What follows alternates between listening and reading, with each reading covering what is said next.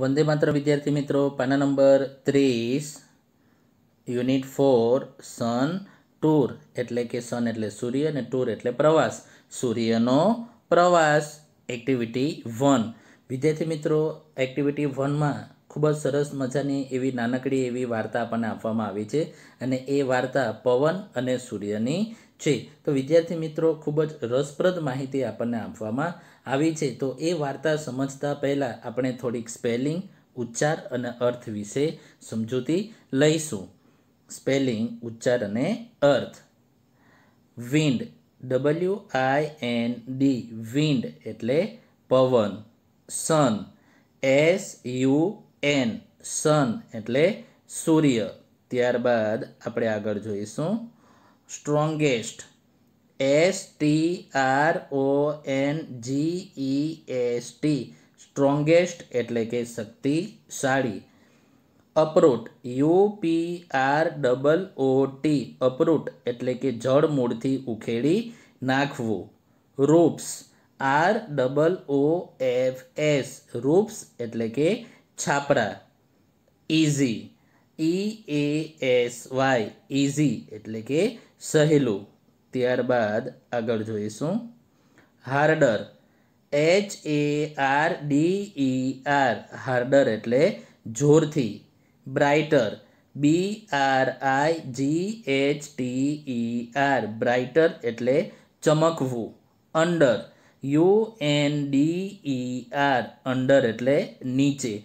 તો વિદ્યાર્થી મિત્રો, આ સ્પેલિંગ તમારે તમારી નોટબુકમાં વ્યવસ્થિત રીતે ત્રણ ખાના દોરી એટલે કે સ્પેલિંગનું એક ખાનું, બીજું ખાનું ઉચ્ચાર અને ત્રીજું ખાનું અર્થ એવી રીતે વ્યવસ્થિત રીતે લખવાનું રહેશે. સ્પેલિંગની સમજૂતી મેળવ્યા બાદ હવે આપણે વાર્તાનું વાંચન કરીશું અને તેમની સમજૂતી લઈશું.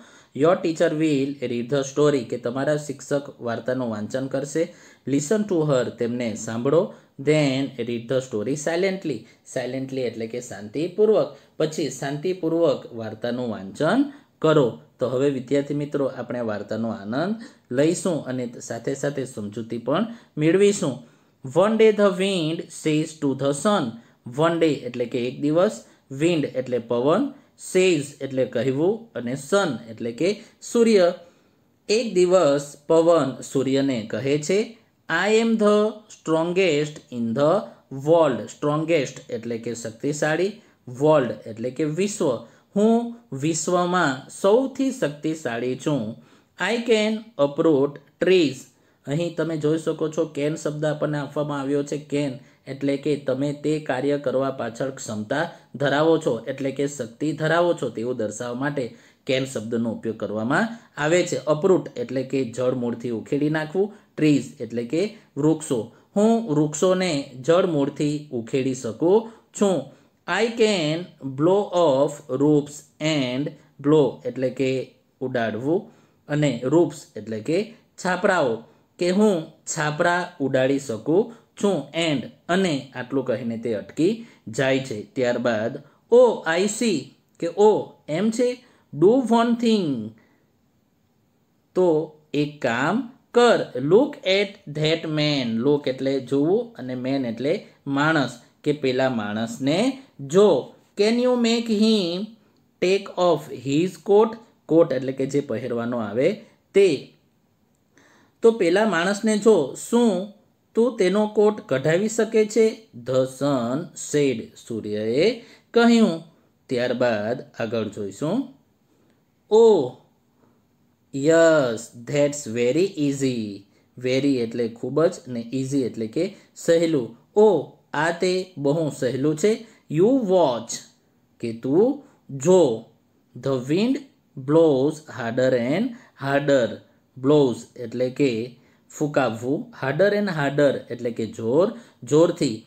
પવન ખૂબ જોર જોરથી ફૂંકાય છે, but the man wraps himself tightly. Tightly એટલે કે ખૂબ જ સજ્જડ રીતે અને હિમસેલ્ફ એટલે કે પોતાને ને વ્રેપ્સ એટલે કે વીંટાળી લેવું. પણ તે માણસ પોતાને સજ્જડ રીતે વીંટાળી લે છે.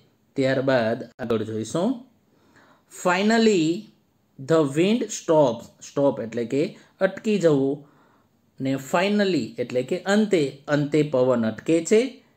Now let me try try એટલે કે પ્રયત્ન. હવે મને પ્રયત્ન કરવા દે સેડ ધ સન કે સૂર્યએ કહ્યું.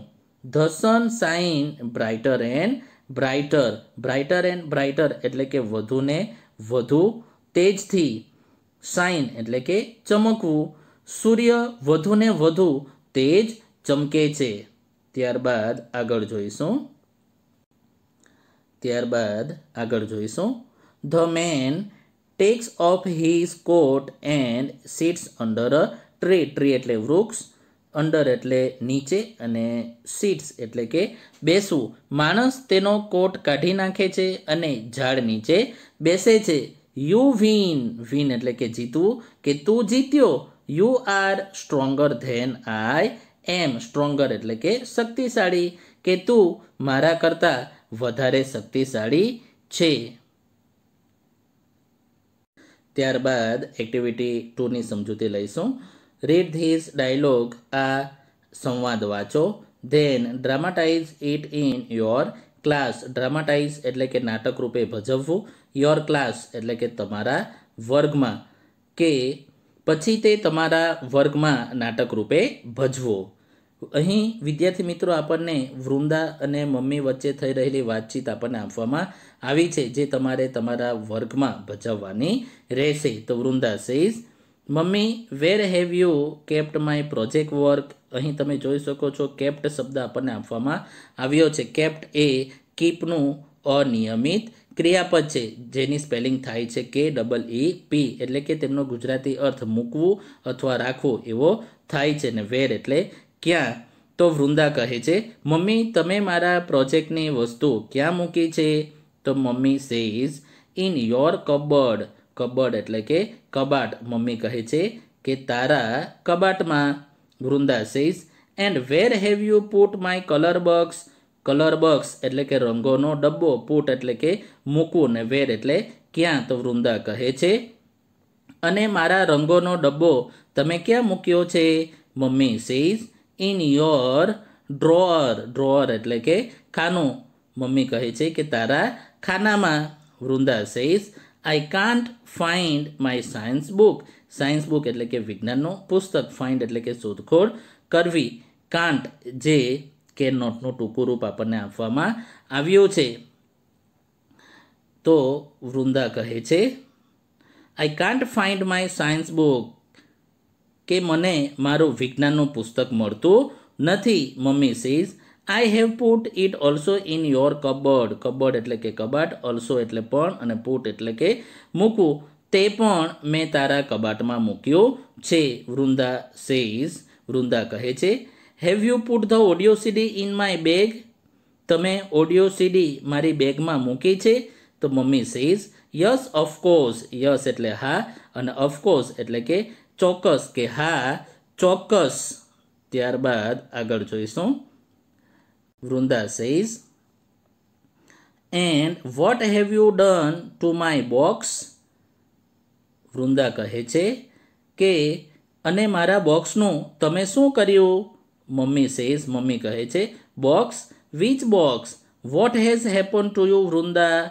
કે બોક્સ કયું બોક્સ તને શું થયું છે, વૃંદા? તો વૃંદા સેઝ એટલે કે વૃંદા કહે છે, mummy dear I am only confirming confirming એટલે કે ખાતરી કરવી કે, વાલી મમ્મી, હું ફક્ત ખાતરી કરી રહી છું. સોરી મને માફ કરજો. Today I have a project on solar energy in our school solar energy એટલે કે સૌર ઊર્જા. આજે અમારી શાળામાં મારે સૌર ઊર્જા પર એક પ્રોજેક્ટ છે. તો મમ્મી કહે છે બેસ્ટ ઓફ લક બેટા. કે શુભેચ્છાઓ બેટા. વૃંદા કહે છે થેન્ક યુ એટલે કે તમારો આભાર. તો વિદ્યાર્થી મિત્રો, અહીં આપણો આ ભાગ પૂરો થાય છે. વંદે માતરમ. જય હિન્દ. જય ભારત.